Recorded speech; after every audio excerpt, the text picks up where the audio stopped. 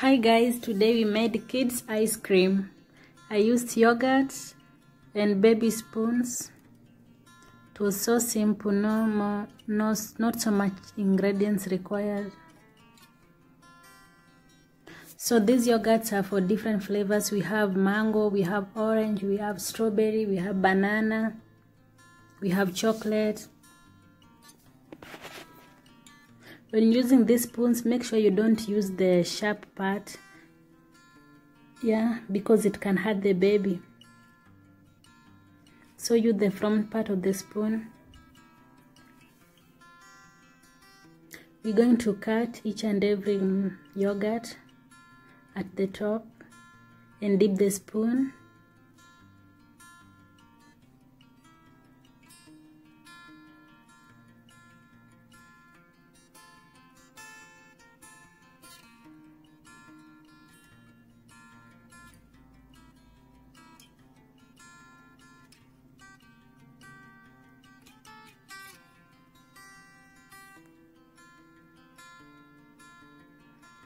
so then we are ready. We now put them in the freezer. Then you wait for about two hours yeah. Remember we don't need them to be very hard like ice. These are ice creams. They should be very soft because it's baby who is going to eat them not a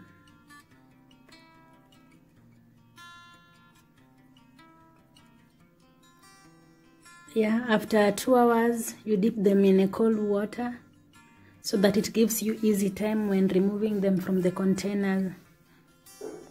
I added the water because the water was was not so much.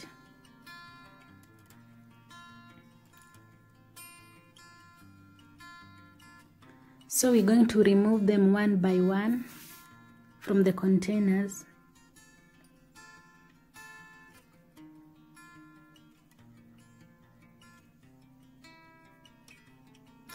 Wow, look at the results. So perfect. So yummy. Looks so yummy.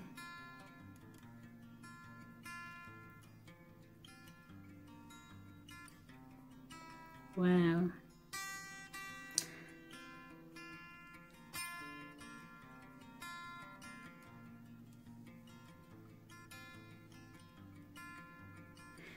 So our ice creams are ready and now you can serve your baby or babies.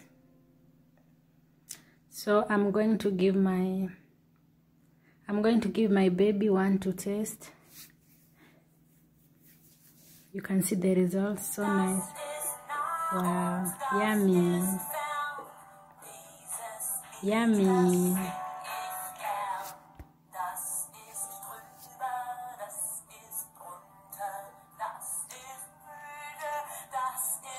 Guys, don't forget to try this ice cream at your home.